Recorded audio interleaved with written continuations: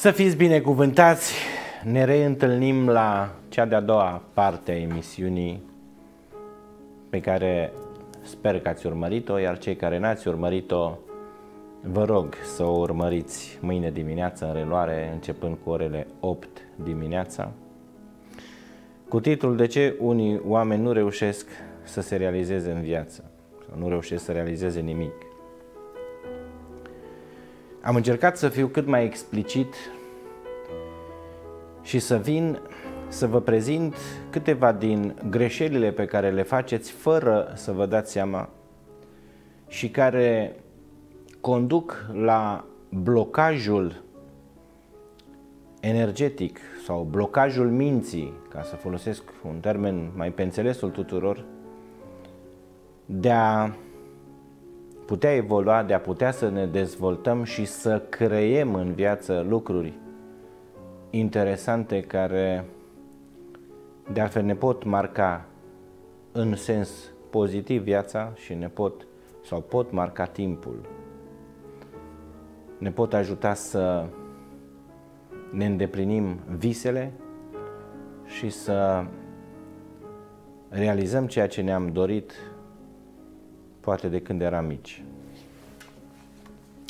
Aș uh, recapitula pentru cei care ați uh, deschis televizorul acum câteva lucruri importante pe care le-am amintit în prima emisiune și care au legătură de altfel cu evoluția sau stagnarea evoluției noastre în viața de zi cu zi pe care o avem.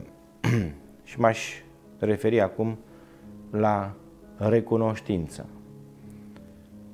pe care, așa cum vă spuneam în prima emisiune, trebuie să o avem față de Dumnezeu, că ne-a mai dat o zi, să-i mulțumim că ne-a trezit și să ne propunem ca în ziua pe care o avem de parcurs, de urmat, să marcăm timpul prin fapte bune, prin uh, a ajuta și a fi milostivi cu oamenii care au nevoie de ajutorul nostru. Apoi, de a avea grijă de suflet la fel de mult cum avem grijă de trup, a doua regulă a Universului. De a fi recunoscători pentru că ne-a dat frumusețe Universului, de a fi recunoscători celor care ne-au dat viață, părinții, de a mulțumi prin cuvinte frumoase celor care au grijă de noi și de a ne îngriji de suflet la fel de mult cum ne îngrijim de trup, pentru că aceste lucruri despre care eu vă vorbesc sunt legi nescrise, pe care dacă oamenii le-ar respecta, multe din problemele care astăzi le au, nu le-ar avea. Apoi, cum să scăpăm de frică? Pentru că frica este cea care ne blochează perspectiva evoluției. De ce? Pentru că ea este ascunsă în gândirea noastră și un om care este temător, este fricos, întotdeauna este blocat într-o gândire negativă, este blocat în uh, teama de a mai face, de a realiza ceva și cea mai mare bogăție a unui om care nu face nimic sunt scuzele. Scuzele care spun, a, păi dacă eu aș fi așa, vedeți în imagine racla din argint a Sfântului Pangratie, care cu ajutorul lui Dumnezeu am reușit să o facem și pentru care vă mulțumesc celor care ați contribuit. Contribuiți și sigur mai puteți să contribuiți ajutându-ne ca să achităm toate datorile care ni le-am făcut, iar în spatele Sfintei Racle, unde se află moaștele Sfântului Pangratie, Sfântul Dorințelor, se află icoana Sfântului Pangratie binecuvântând poporul, o icoană pe care o să o aducem și o să o prezentăm pentru cei care își vor dori și această variantă. Dar până atunci o puteți lua cea din de pe ecran unde Sfântul ne transmite un mesaj că cine mă va avea în casa lui, bucuria, pacea și iubirea, bunăstarea vor lua locul întristării. Revin la ceea ce vă spuneam, frica, v-am amintit și în prima emisiune, este prin, principala vinovată în involuția noastră. Oamenii care se tem de eșec, oamenii care se tem de viitor, nu vor face niciodată progrese. Progresele despre care vă vorbesc sunt regăsite în capacitatea pe care trebuie să o ai de a avea încredere înainte de toate în Dumnezeu și în tine. Și acest lucru l-am amintit în prima emisiune, de aceea vă rog, cei care n-ați reușit să o urmăriți, dimineața să o ascultați la orele 8 în reluare și imaginile care le-ați văzut derulându-se sunt de la bisericuța din lemn pe care au înfrumusețat-o șincanii din Șinca Nouă, din județul Brașov, lângă Făgăraș, sau cărora le mulțumesc. Le mulțumesc pentru sacrificiu și jertfa pe care au avut-o și așa cum îi invit pe toți credincioșii din această țară, pe data de 9 iulie, să vină la ziua Sfântului Pangratie, Sfântul Dorințelor, unde vom citi dezlegări și rugăciuni, să veniți și până atunci cei care puteți și care sunteți mai aproape, să vă puneți dorințele la Sfânt, pentru că există o tradiție ca cei care vin și își pun dorința lângă raclă, în cutia dorințelor, nu peste mult timp ne sună și ne spun, Părinte, tot ce am cerut s-a realizat. Această bijuterie pe care o vedeți expusă în imagini, aceste odoare sfinte sunt în Biserica Muzeu, Biserica Sfânta Maria din Voluntari Pipera, Biserica Îngerilor, pentru că foarte mulți oameni ne-au spus, Părinte, am văzut îngerii, am văzut imagini cu forme care în momentul rugăciunii colective pe care le-ați făcut și am și pe Facebook, dacă vedeți la un moment dat o rază de X prin semnul crucii.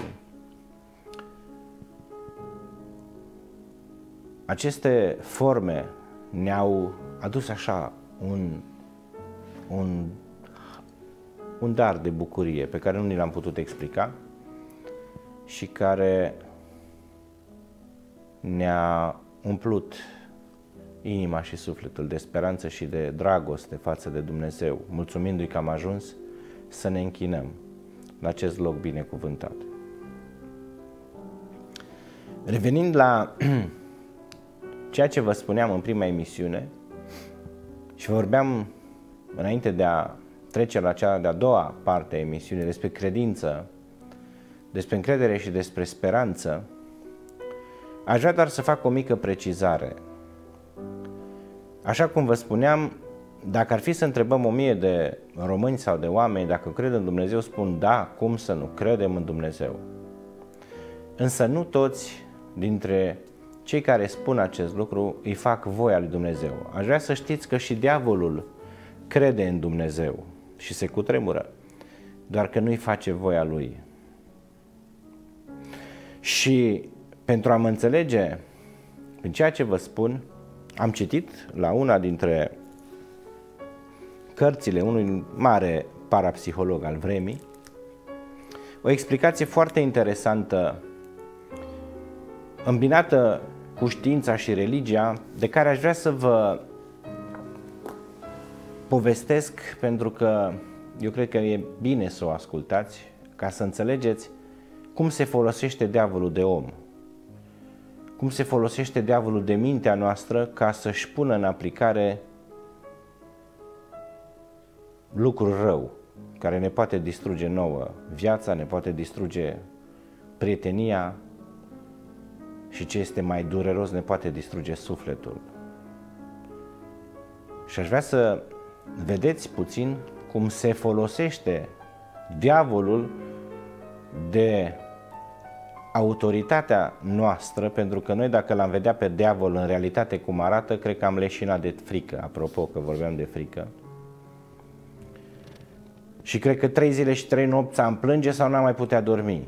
Am fi pur și simplu cu tremurați de urăciunea și de întunecimea pe care ne-o poate aduce în viața noastră. Și aș dori să vă spun această povestioară pe care să o țineți minte și să o transmiteți mai departe nepoților, copiilor, cei care acum ascultați. Să vedeți cam cum s-au petrecut lucrurile încă de la începutul facerii lumii de către Dumnezeu. Dumnezeu Tatăl iubirii al Universului și a întregii omeniri și a tot ceea ce înseamnă formă de viață, natură, etc. La început Dumnezeu a creat lumea îngerilor, înainte de a crea omul. Și a creat un înger atât de frumos și de perfect, despre care ați auzit și care se numește Lucifer, înger de lumină. Iar acest acestui înger, Dumnezeu i-a pus toată frumusețea pe care a considerat că o poate reda unei forme de creație pe care el a construit-o și a făcut-o pentru a fi parte din lumea îngerilor, lumea nevăzută, ce urma să fie la proiectul și creația lui Dumnezeu. Însă Lucifer, văzându-se atât de frumos, văzându-se atât de perfect,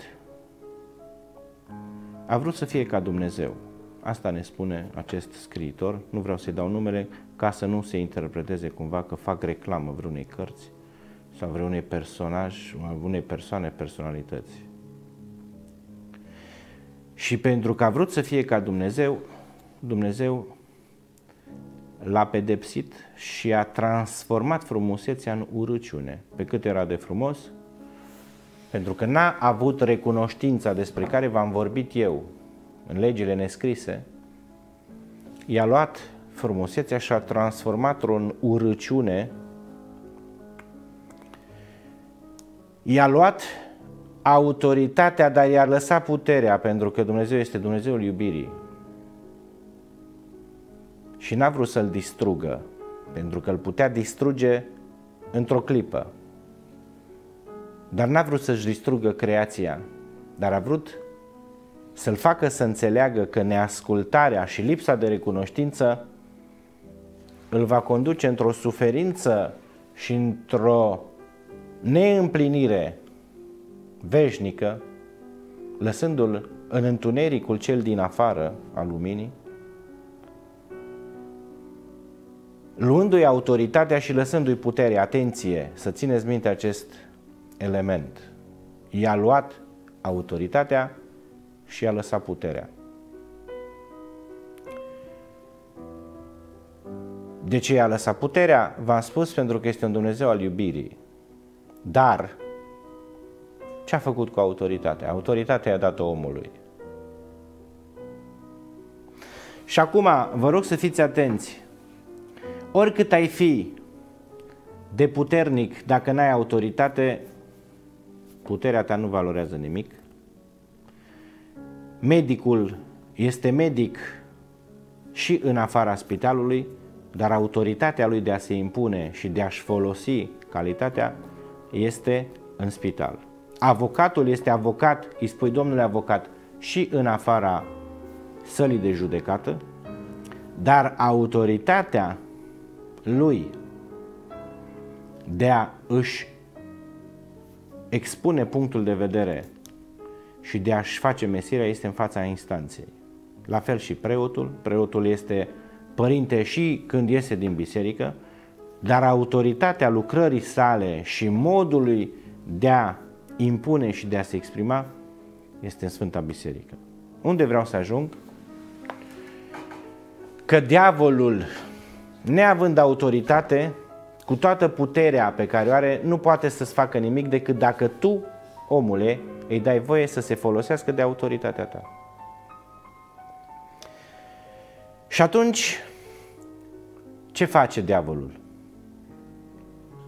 Pe mulți dintre noi ne folosește folosindu-se de mintea noastră, care poate fi uneori puternică sau uneori mai slabă la unele persoane. Avem acest obicei de a spune are mintea slabă săracul sau săracă. Și prin autoritatea pe care omul și-o dă, cu liberul arbitru, nu? că omul este de acord să-și dea autoritatea diavolului cum? În momentul în care a început să drăcuie, să blesteme, a început să urască, să scoată pe gură venin, să bârfească, să judece, atenție, la cei care bârfiți, judecați, la cei care sunteți superficiali, sunteți oameni care, din păcate, de multe ori sunteți folosiți de Duhul cel rău sau de diavol diavolul care se folosește de autoritatea voastră ca prin modul vostru, indiferent cine ați fi și ce funcție ați avea, să creați suferință sau dezechilibre în masele de oameni pe care îi puteți influența sau îi puteți conduce. De aceea sunt oameni care au creat erezii, sunt oameni care, în loc să ajute oamenii să-și găsească calea, pansamentul sufletesc au început să judece, să arunce cu venin într-unii sau în alții, judecându-i că ăla e așa, că ăla e așa, uitând de fapt că nimeni nu e perfect și uitând de altfel de îndemnul pe care Hristos l-a dat, nu căuta paiul din ochiul fratelui tău câte vreme în ochiul tău stă bârna. Și cred că mă înțelegeți la ceea ce sau despre ce vreau să vă vorbesc. Folosindu-se de autoritatea noastră, pe care noi oamenii o dăm de bunăvoie. Diavolul reușește să-și ducă la îndeplinire planul său și planul său este acela de a ne distruge, dar cum? Prin autodistrugerea noastră, pentru că prin propria noastră voință, fără să ne dăm seama, am acceptat să fim părtași la lucrarea acestui duh rău, acestui demon, care prin șiretlicul lui îți folosește gura, limba, cuvintele, despre care Părintele Arsenie vorbea atât de frumos. Aveți grijă la cuvinte, căci ele sunt ființe vii. Prin cuvântul vostru, voi puteți construi prezentul și viitorul sau îl puteți distruge. Dacă eu ca preot v-aș spune acum la televizor că mâine vi s-ar întâmpla ceva rău, toți ați fi consternați de frică, auleo, dacă preotul ăsta are dreptate, dacă va fi așa. Deci v-am setat în minte, în memorie, un chip al unei informații care am transmis-o și poate fi un fake, o informație falsă, dar v-am transmis-o pentru a vă crea starea de panică. Un om credincios ar spune, nu cred așa ceva. Indiferent cine mi-ar spune, para clar văzitorul, para ce e scris să se întâmple, mi se va întâmpla și nimic din ceea ce trebuie să se întâmple în viața mea nu se va clinti un fir de păr de aici, așa cum v-am spus, fără știrea și voia lui Dumnezeu. Din păcate, câți dintre noi avem această credință? Câți dintre noi avem această percepție clară că în viața noastră nu se întâmplă nimic întâmplător. Știți că acum dumneavoastră, cei care mă ascultați, poate din greșeală ați butonat televizorul, ați văzut un preot cu o cruce la gât și ați zis, mă, ce vorbește? Hai să vedem ce... Să-l ascultăm și pe ăsta, să vedem ce mai spune. Că ne-am săturat de atâtea minciuni, de războaie în stânga, în dreapta, nu mai știm pe cine să credem. Hai să mai ascultăm. Și pentru că v-am stărnit interesul, n-ați schimbat canalul, iar cei care l-ați schimbat sau îl vor să-l schimbe pentru că nu se regăsesc, fac o precizare, această emisiune nu este pentru oricine. Este doar pentru oamenii care vor să evolueze spiritual, iar cei care nu vor și sunt enervați de faptul că le vorbesc, să schimbe pe desene animate și să se uite la alt canal pentru că nu sunt obligat să mă ascult. Deci, de câte ori aș vrea să vă întreb, s-a folosit diavolul de autoritatea voastră făcând rău? Cum? Mă veți întreba. Păi pe câți oameni ați jignit? Pe câți oameni, prin expresia cuvintelor voastre, nu i-ați făcut să plângă? Nu i-ați umilit, ci i-ați făcut să se simtă poate ultimii oameni. De câte ori poate voi, soților, nu v-ați supăra soțiile sau soțiile soții, sau voi copii v-ați supărat părinții jignindu-i, nearătându-le recunoștință, nemai băgându-i în seamă, până într-o zi când ceva din voi s-a mișcat și glasul conștiinței va trezi și ți-a zis, de ce ai făcut asta?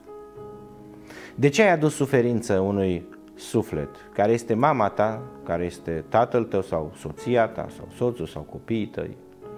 Pentru că într-o zi toate aceste lucruri pe care tu le-ai făcut, le vei plăti. Ai creat suferință, de suferință vei aparte, indiferent că ești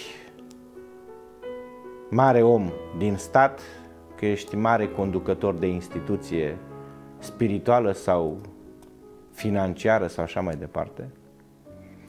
Tot rău pe care îl faci celor mai mici ca tine îl vei plăti până la ultima lacrimă și suferință pe care aceștia o au.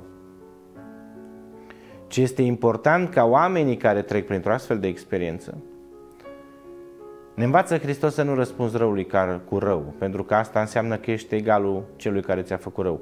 Adică, teoretic, a intrat în jocul diavolului care s-a folosit de autoritatea unui mare conducător de instituție, care prin pixul lui a schimbat sau a distrus viața unui om și liniștea lui și a familiei lui.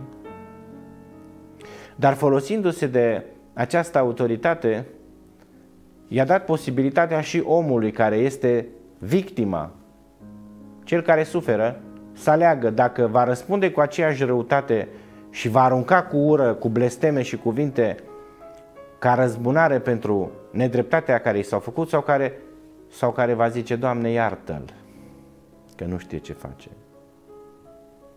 Și acum vă rog să fiți atenți și să-mi răspundeți toți cei care aveți probleme că veniți mult și îmi spuneți, părinte, am fost la 100 de preoți, la 50 de preoți, la 70 de preoți. Am plătit acatiste, că m-a supărat sora, că m-a nedreptățit un judecător, m-a pedepsit pe nedrept, că nu știu ce s-a întâmplat, o nedreptate mare.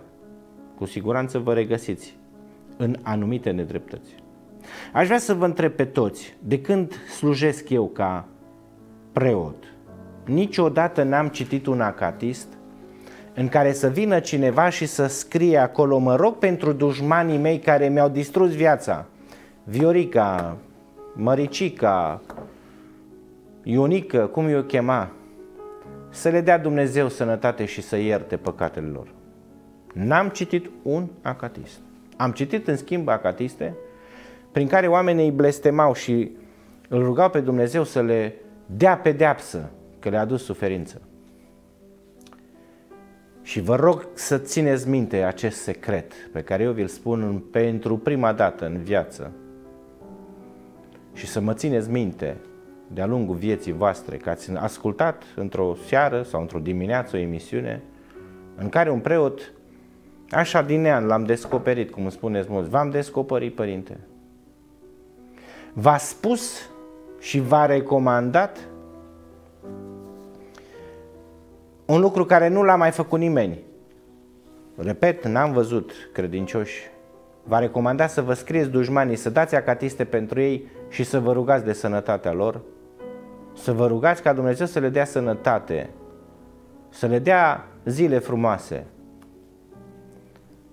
și să le dea liniștea pe care nu o au pentru că un om care face rău nu este niciodată liniștit, credeți-mă. Indiferent de funcția care ocupa-o, eu n-am văzut om care să facă rău și să doarmă liniștit. Și făcând asta, ce credeți că ați obținut? Le-ați luat puterea, iubiții mei, de a vă mai face rău și de a continua pentru că ați ieșit din frecvența comună pe care erați, pentru că răul vostru cu răul lui se întâlnesc, se ciognesc și creează scântei. Scânteile pot aprinde alt rău și alt rău și alt rău și alt rău, până când ajungi la un moment dat să te autodistrugi. Sunt oameni care mor de inimă, infarcturi, datorită stresului și supărării pe care o au și o petrec, pentru că n-au avut puterea sau n-au înțeles că tu nu ești Dumnezeu ca om, să te războiești cu cel care te-a distrus. Și te întreb pentru ce m-a distrus și de ce a îngăduit Dumnezeu să mă distrugă omul ăla, să mă condamne, să mă pedepsească. Câte vreme eu n-am făcut rău, am făcut numai bine. Și răspunsul spune, a făcut Dumnezeu și a îngăduit acest lucru ca acel om să te pedepsească ca tu, în momentul în care trebuie să răspunzi la nedreptatea și nelegiuirea lui, să fii mai presus de gândirea lui și să spui, Doamne, iartă-l, așa cum Hristos spunea pe cruce, Tată, iartă-i că nu știu ce fac. Hristos nu i-a blestemat, nu i-a ponegrit, nu i-a denigrat, a spus, Tată, iartă-i că nu știu ce fac. Și în momentele în care suferea cumplit, cuie în pălmi, îi curgea sânge, striga către cer, Tată, iartă-i că nu știu ce fac. Deci, cei care aveți dușmani, dacă vreți să învingeți, două lucruri trebuie să faceți. Unu, scrieți acatiste și rugați-vă pentru sănătatea lor. În momentul acela, ceea ce ați făcut voi nu este capabil să facă oricine. V-ați ridicat și ați ieșit din zona de conflict, ați ieșit deasupra și v-ați eliberat. Veți vedea că din momentul acela nu mai are nicio putere să vă facă rău. Și din acel moment, omul pe care voi l-ați blestemat, l-ați denigrat, că v-a creat suferință, își va da seama că este mult mai slab și este mult inferior bunătății voastre, pentru că în fața bunătății, să țineți minte, diavolul stă în genunchi. Și vă voi da o scurtă, scurtă istoriară ca exemplu, în care un tată pe patul de moarte avea trei fii și și-a chemat toți copiii la el și a spus, vă iubesc la fel de mult pe toți. Mama voastră a plecat de mult dintre noi, iar eu a trebuit să vă cresc pe fiecare dintre voi, să am grijă de voi. Pentru că vă iubesc la fel, nu știu căruia dintre voi să-i las încredințarea de a avea grijă în locul meu și de a vă supraveghea și de a vă învăța, pentru că nu știu cât de înțelept sunteți. Dar mergeți Faceți câte o faptă bună și la sfârșitul zilei vă rog să veniți și să-mi povestiți și atunci voi ști pe cine să aleg. S-a dus primul și s-a întors bucuros și a zis, tată, astăzi am scăpat un om de la moarte. Era în fața unei mașini, l-am luat de acolo, era să-l lovească. L-am ajutat să treacă strada și mă simt bine că i-am salvat viața. A zis, bine ai făcut, dragul meu, un lucru foarte frumos. A venit cel de-a doilea și a zis, tata, am văzut un om flămând și am cumpărat o pâine, i-am dat să mănânce, l-am mângâiat pe creștet și am zis, dacă are nevoie să-l ajut, să-l mai ajut. Și a zis, bine ai făcut, este un mare dar să fii milostiv și să nu fii zgârcit. Aici aș vrea să se gândească puțin la cuvântul zgârcit mulți dintre cei care mă ascultă care să zgârcesc spunând că e scump să cumperi o carte, e scump să cumperi o icoană, dar nu e scump să-ți cumperi tot felul de bijucării și tot felul de parfumuri care le arunci și le uiți prin sertare. Și vine cel de-a troilea fiu și spune, tată, astăzi m-am întâlnit cu cel mai mare dușman al vieții noastre, care de când eram încă mici ne blestema, ne denigra, ne chinuia și datorită răutății lui poate și mama. Iată, neputând înțelege, a plecat la Domnul neîmpăcată că acest om ne-a chinuit și ne-a făcut rău, era vecinul nostru. Era rănit, era căzut lângă perete, l-am ridicat, l-am scuturat, mi-am cerut iertare de la el, eu, în numele tuturor, și l-am condus la casa sa. Și sunt fericit că am reușit să fac asta. În acel moment tatăl a început să plângă și a zis, fiule, foarte mare lucru ai făcut. Ceea ce au făcut frații tăi este în stare să facă oricine. Să dea de mâncare unui sărac, să salveze de la moarte un om care este în pericol. Dar ce ai făcut tu? Să fii capabil să renunți la orgoliu și să-ți ceri iertare de la dușmanul nostru și să faci pace, nu este în stare să facă oricine.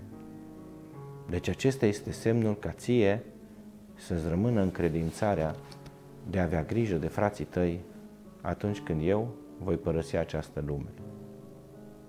Deci iată, iubiții mei, de ce suntem blocați în evoluția noastră, repet, materială și spirituală? Pentru că nu există un perfect, noi nu putem fi desăvârșiți. Degeaba încercăm să citim în viețile sfinților, că trebuie să te spovedești nu știu cum și să postezi nu știu ce. N-ai cum să ajungi niciodată sfânt, decât dacă îți alegi o astfel de viață. Să nu uităm că și sfinții au fost trăitori, au avut carne, oase, au avut dureri și plăceri, au fost ispitiți, dar și-au ales prin liberul arbitru propria voință o viață care este cu totul și cu totul altfel de cum o avem noi, o viață de sacrificiu, în care au acceptat și umilința, au acceptat și foamea, au acceptat lipsa luxului, au acceptat ca din 24 de ore 22 sau 23 să se roage și așa mai departe. Aceștia au ajuns sfinți prin modul lor de viață și de gândire pentru că au ajuns la desăvârșire. Indiferent ce preot, ce funcții importante avea în biserică și așa mai departe, ești supus greutății și să știți că un preot are șapte duhuri rele care îl chinuie care vin peste el tocmai pentru a aduce zminteală în rândul credincioșilor slab de înger. Cine este credinciosul slab de înger? Cel care este influențat de tocmai ceea ce vă spuneam. Twitter, Facebook, Google, unde se scriu numai mizerii și prostii și care de multe ori sunt uh, fake news, făcute aceste știri sau aceste informații negative tocmai pentru a-ți stârni curiozitatea și a te scoate din harul, din liniștea și pacea interioară pe care tu ți-ai dobândit-o întâlnind un om, întâlnit un călugăr, un preot, un medic, cu care ai rezonat, cu care te-ai simțit bine, dar tu nu. Tu, dacă scrie acolo o prostie, eu trebuie să cred ce spune aici. Câți nu și-au distrus viața? Și mă refer la doamnele de pe urmăritoare la Facebook, care și-au distrus căsniciile, care și-au distrus liniștea în familie și iubirea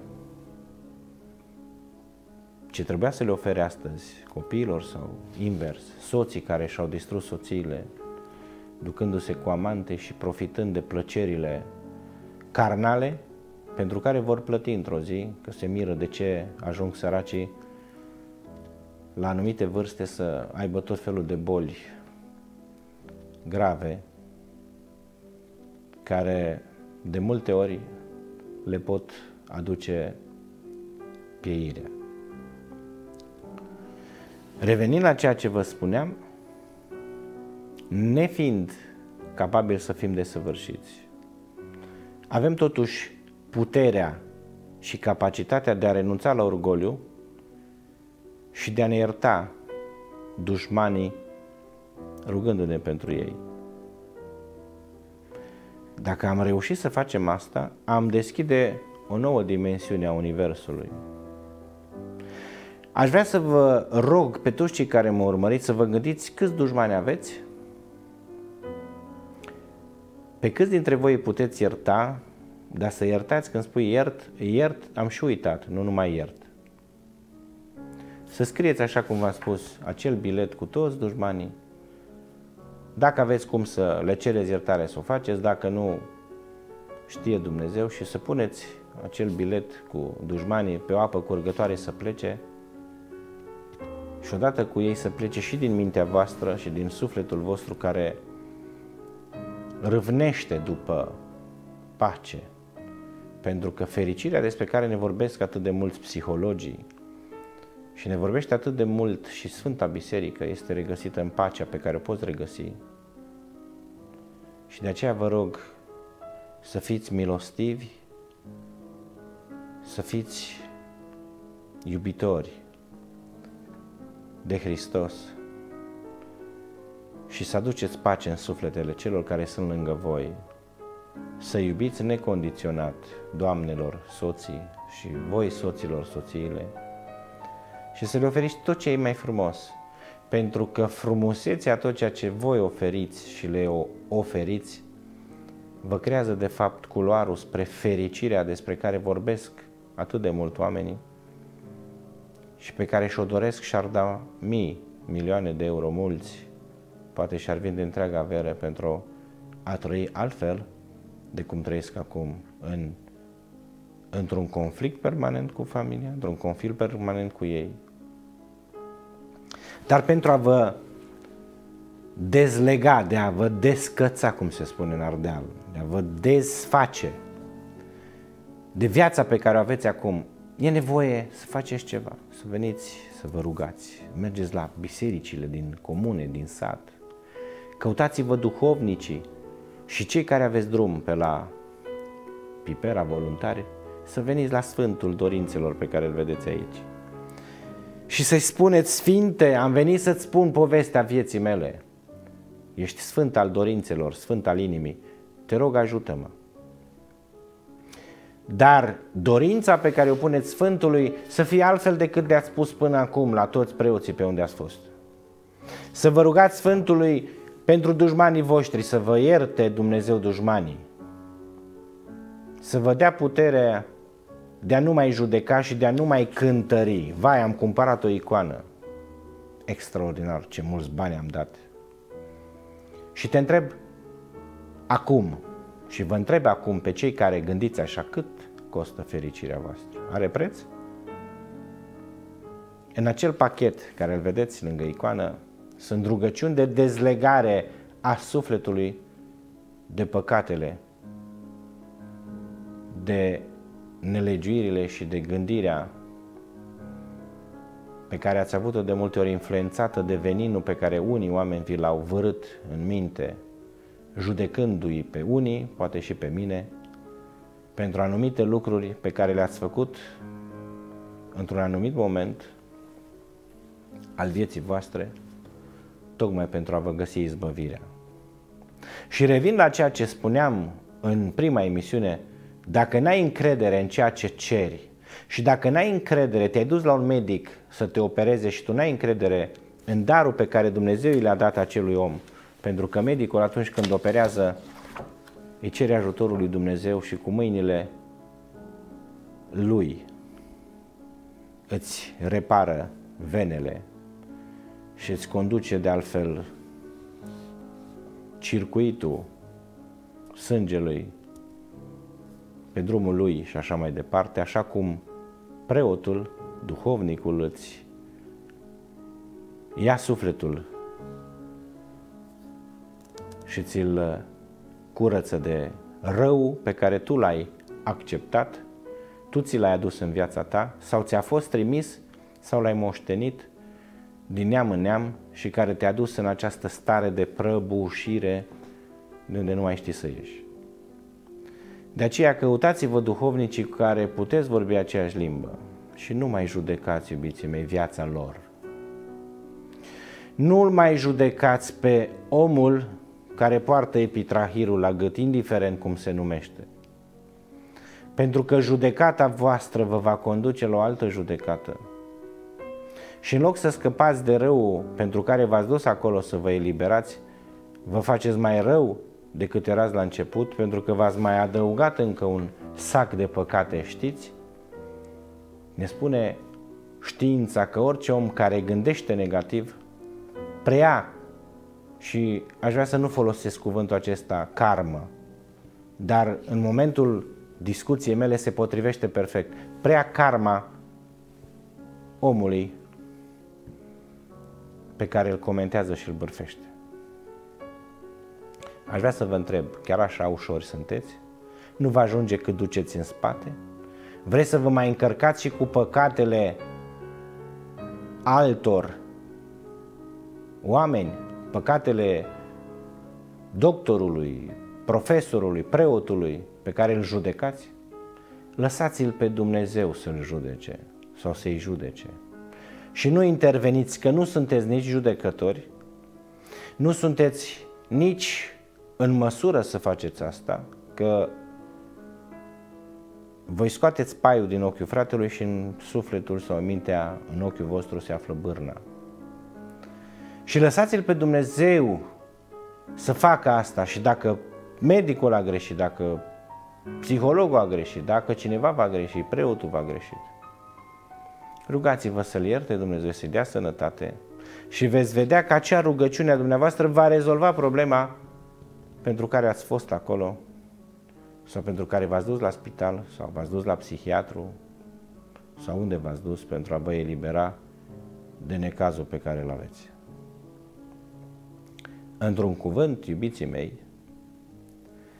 nu vă încărcați sufletul cu povara păcatelor altora. Pentru că cu cât vei judeca mai mult, cu atât de mult vei fi judecat și problema ta nu se va rezolva. Spuneam la un moment dat și am recomandat un lucru pentru care poate unii m-au comentat sau au privit așa lucrurile cu superficialitate, că sunt momente în viață în care trebuie să faci anumite jerfe. Așa cum atunci când ai trecut pe roșu la semafor, ești oprit de cei care sunt înditruiți să facă asta și plătești sancțiunea și ești sancționat, poate și pedepsit, că n-ai respectat legea și ai plătit o amendă și nu comentezi, bineînțeles spui, mă scuzați, poftiți amenda, poftiți permisul, asta e legea, am încălcat o lege. V-aș întreba până la vârsta pe care o aveți, câte legi ne-ați încălcat în univers? Aș vrea să vă întrebați puțin conștiința, cât de mult nu l-ați supărat pe Dumnezeu de-a lungul vremii și vă întreb cât de mult ați plătit pentru ce ați făcut. Ca să nu plătiți cu boală și cu suferință, ajutați, iubiții mei, oamenii care au nevoie de ajutor. Ajutați un om sărac, ajutați un preot, cumpărați un rând de haine, cumpărați un rând de haine unui copil, unui preot, Ajutați o biserică, așa cum v-am cerut și noi, să ne ajutați la Bisericuța Sfânta Maria din Lemn. Să putem construi racla și iată că ne-a ajutat Bunul Dumnezeu să o realizăm și încă mai avem mici datorii. Dar, prin bunătatea dumneavoastră, a oamenilor modești, am reușit să adunăm bănuți cu bănuți și încă mai avem nevoie ca să putem crea acest edificiu spiritual ca de acum încolo zeci, sute de ani, oamenii, urmași, urmașii noștri care vor veni să se închine la bisericuță, se vor închina și Sfântului Dorințelor, Sfântului Pangratie, pe care v-aș recomanda să-l aveți în casa voastră, ca Sfânt Ocrotitor, ca Sfânt al iubirii și al păcii, care va ajuta, vă va ajuta să vă rezolvați multe din necazurile pe care le aveți și să aveți încredere că nu sărăciți și nici nu ne îmbogățim și că banii pe care dumneavoastră îi, ajut, îi, îi donați sau îi dați sunt folosiți pentru a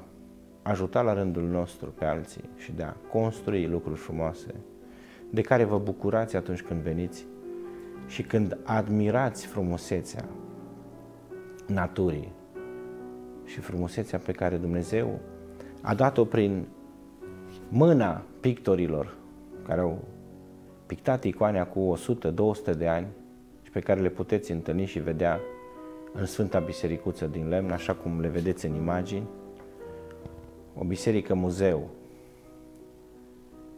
atât de frumoasă în acest colț al țării unde vin bogații și săraci să ceară lui Dumnezeu ajutorul.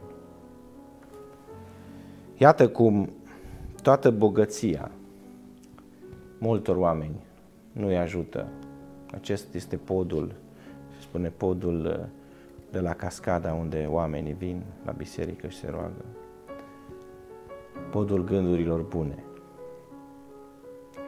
Câți oameni puternici cu bani astăzi ar da poate toată averea ca să fie fericiți. Poate ar da mulți bani să-și găsească sănătatea care și-au pierdut-o de-a lungul vremii. Ar da mulți bani să își găsească de fapt echilibru emoțional, să-și găsească echilibru, să aibă o familie și nu știu unde, cui să se roage și ce să facă pentru asta. De aceea vă recomand, cei care aveți astfel de situații, să le dați în dar acest pachet Darul Bucuriei. Și pe 9 iulie să-i aduceți de mânuță la Sfânt să se închine, să se roage și să-și pună dorințele toți cei care au nevoie de ajutorul lui Dumnezeu. Au nevoie de ajutorul Sfinților pentru că Sfinții sunt mijlocitori înaintea lui Dumnezeu și Sfinții sunt cei care, dacă noi, oamenii, le încredințăm autoritatea noastră, rugându-i să ne scoată la mal din încercările care le avem, o fac și ne ajută să depășim greutățile, blocajele și momentele dificile prin care trăim. De aceea eu cu drag vă aștept să veniți, să veniți și să vă rugați Maicii Domnului, este Biserica Sfânta Maria. Să vă rugați Sfinților Îngeri, pentru că este numită și Biserica Îngerilor, și Sfântului să vă dea binecuvântare. Aș face o mică precizare. La cei care astăzi sunteți supărați, sunteți triști, împăcați-vă. Să nu intrați în primăvară triști, că va urma primăvara. Să aveți o primăvară nouă, frumoasă. Să comunicați mai mult cei care nu înțelegeți de ce aveți probleme. Voi, soți, soții, iubiți, iubite. Iar cei care sunteți singuri, iar cei care sunteți singuri,